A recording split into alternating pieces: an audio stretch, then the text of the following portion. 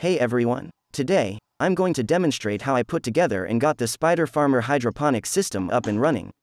Step 1. Connect the light hood and base with the post. The light post has pins on both ends for connecting the base and LEDs. Begin by inserting the upper end of the post into the light hood. Next, detach the bowl from the base and insert the lower end of the post into the base. Place the bowl back onto the base. Finally, position the light hood at its lowest setting.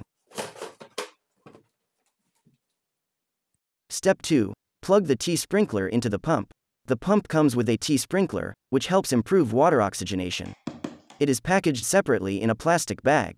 Remove the T-sprinkler from the bag and connect it to the pump. Ensure that the T-sprinkler is securely and properly attached.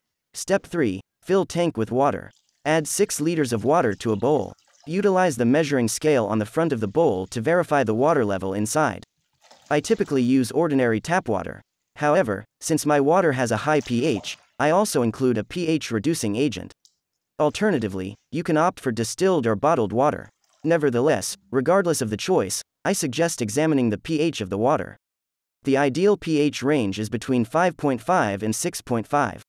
Step 4 Add plant food. This hydroponic system comes with concentrated plant food that requires dilution in water.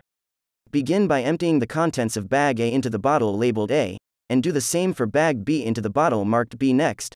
Fill the bottle with water, leaving a little space at the top. Secure the caps tightly and give the bottles a good shake. Allow them to sit for a few minutes, then shake them once more. Once this is done, the plant food will be ready for use. To prepare the plant food mixture, pour 2 caps, equivalent to 30 milliliters, of plant food from each bottle into a bowl.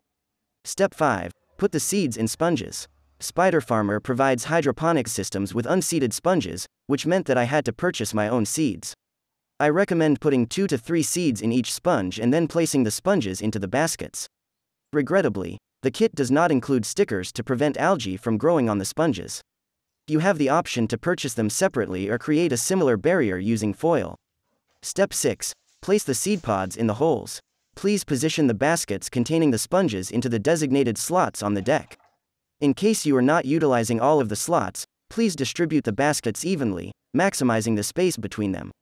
Additionally, ensure that any unused slots are covered with lids.